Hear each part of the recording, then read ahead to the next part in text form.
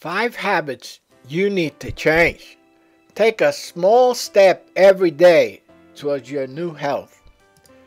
You have to stop smoking if you're still smoking. It's no secret that smoking kills, despite the fact that people are aware of all the health risks associated with smoking, many still do it. It is without doubt one of the unhealthiest habits in today's society. This habit can literally cost you your life. You know, a lot of people still smoke to keep down the weight.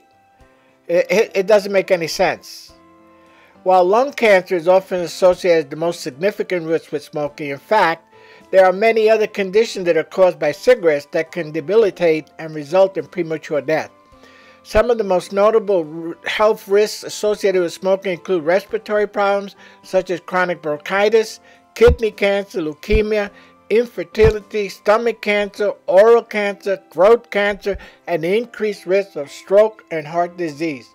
Why do it to yourself? It's the worst thing that you end up in a hospital bed and have nobody to blame but yourself. Danger, poison.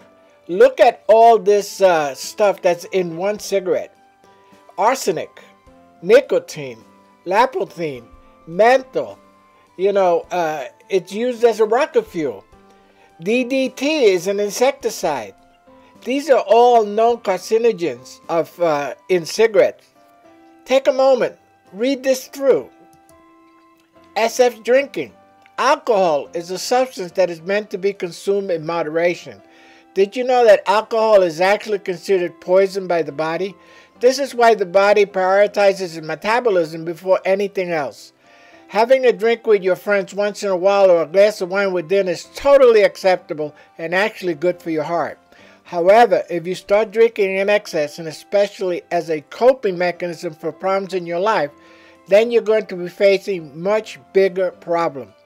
Many people overlook the risks that go along with excessive drinking, even though there are a lot of them. Some of the best known health risks of alcoholism include dementia, colon cancer, liver disease, stroke, depression, liver cancer, hepatitis, anxiety, and premature death, just to name a few. Now look at this diagram.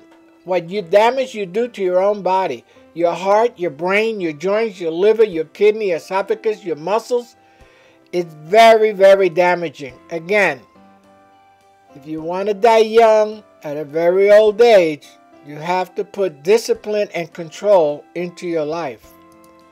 Stop drinking calories. Nowadays, many people uh, find water to be boring, so they avoid drinking it every chance they get. This has been made worse with many companies now making flavored water. Nevertheless, soda is still the most famous substitute for water.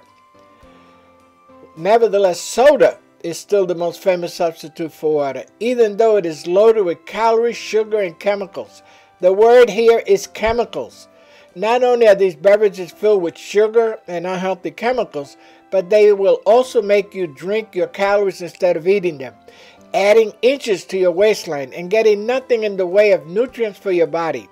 The next time you want to buy a can of soda, make sure to think twice about whether you really need those extra calories.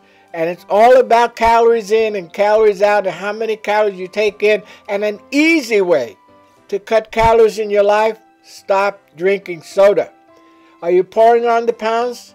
Don't drink yourself fat. And also, don't drink yourself sick. Eating in front of the TV. This is something that many people do, but while it can greatly contribute to poor health, may be easily overlooked. Instead of taking the time to really enjoy the food, most people would rather wolf it down while watching a movie or a TV show. However, there are several health risks that are associated with this activity. First of all, it will draw all your attention to the TV instead of your food, which will make you eat more than you should or normally would simply because you do not pay attention to how much you have eaten.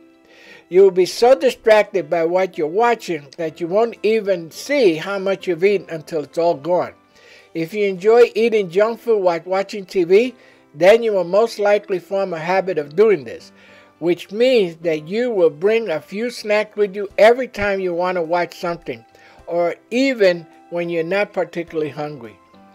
You know, we have a wonderful uh, ebook available to you, Stressful uh, Mindful Eating, that you should take advantage of. Steps to mindful eating. Ask yourself what you are eating. Are you hungry? Are you bored or stressed? Try taking 20 minutes to eat. Waiting 20 minutes. You know what I mean? You're, you're to, it's, it's uh, 11.10, wait until 11.30 to have something to eat. Quit eating in front of the TV. You can cause you to eat 10 or more calories at mealtime and 25% at other times in the day. Water all natural and does the body good. Take small sips between bites of food. It helps you fill up and reduce the amount of food that you eat. Eating too much junk food. Eating too much, too much junk food in your house is a bad idea. Simply by knowing that you can get a junk food snack anytime you want will make it hard for you to resist the temptation to indulge in unhealthy eat, uh, foods. It's always easier to grab a bag of chips than to cook a healthy meal in order to satisfy your hunger. However, this will only make you lead an unhealthy lifestyle. Instead, you should throw away all the junk food and keep healthy food stuff on hand. Why? Because junk food has too much salt, and salt retains water in your body that will make you think you're not losing any weight and you will get you will give up and stop your diet. The other thing, high fructose corn syrup in ketchup, in uh, in the in the bread, the salt, the the carbohydrates, the the damage that it does to your overall health is amazing. And it's not about taste, it's about what you're putting in your body and the damage that it does. Please subscribe, share this information, and Stop these five bad habits today. See you in the next video. Bye-bye.